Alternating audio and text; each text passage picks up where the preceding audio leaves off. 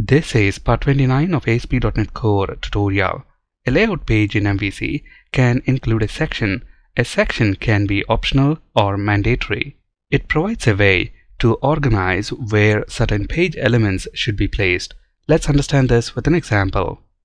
Let's add a JavaScript file to this JS folder in www root. Right click on the folder, add new item.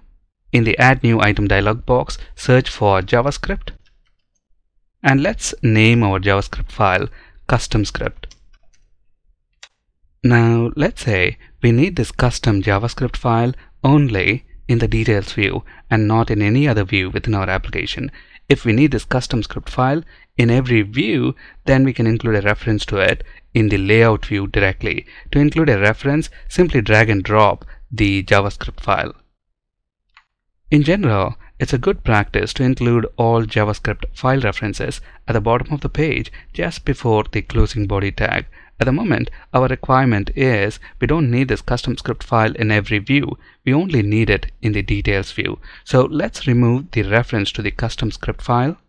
And we already know the use of this render body method. This is the location where view specific content will be plugged in. Similar to this render body function, we have another method called render section. So let's call that method just before the closing body tag.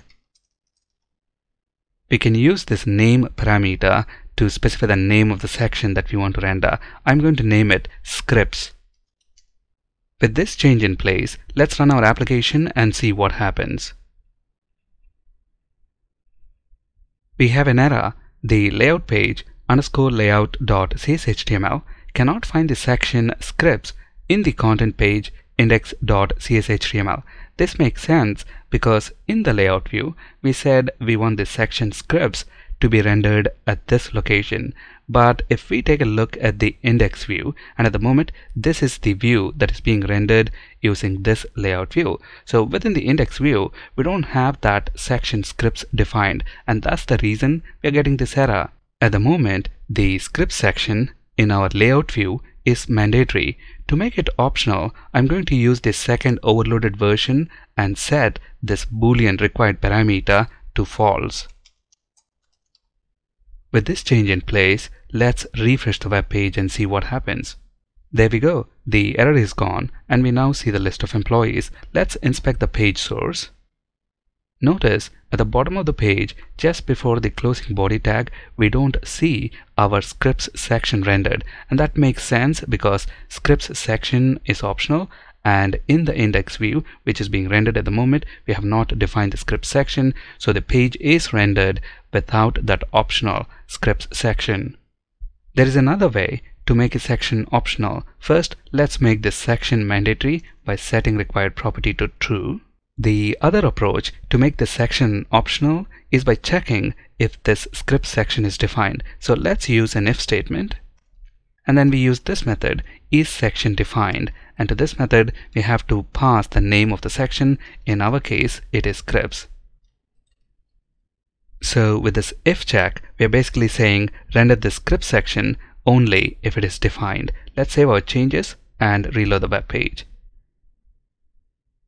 notice the page loads fine remember our requirement we want to render this script section with a reference to our custom script file only for this details view. So in the details view, let's define the scripts section. To define a section, we use at section directive. And then specify the name of the section. In our case, it is scripts. What do we want to do with this section? We want to render a reference to this custom script file. So let's drag and drop it within this section. Save the changes and reload the web page. The page loads fine. Let's view the page source. Notice before the closing body tag we don't have that scripts section rendered and that makes sense because within our index view we don't have the scripts section defined. Now let's navigate to slash home slash details and view the page source. Notice just before the closing body tag we have the scripts section rendered as expected. So the point to keep in mind is If a view intends to provide content for a section, then the view has to include a section using the at section directive and then provide the content.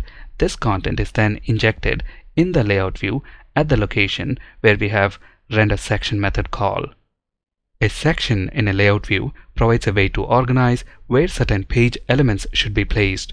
A section can be optional or mandatory. A section in the layout view is rendered at the location where render section method is called. That's it in this video. Thank you for watching.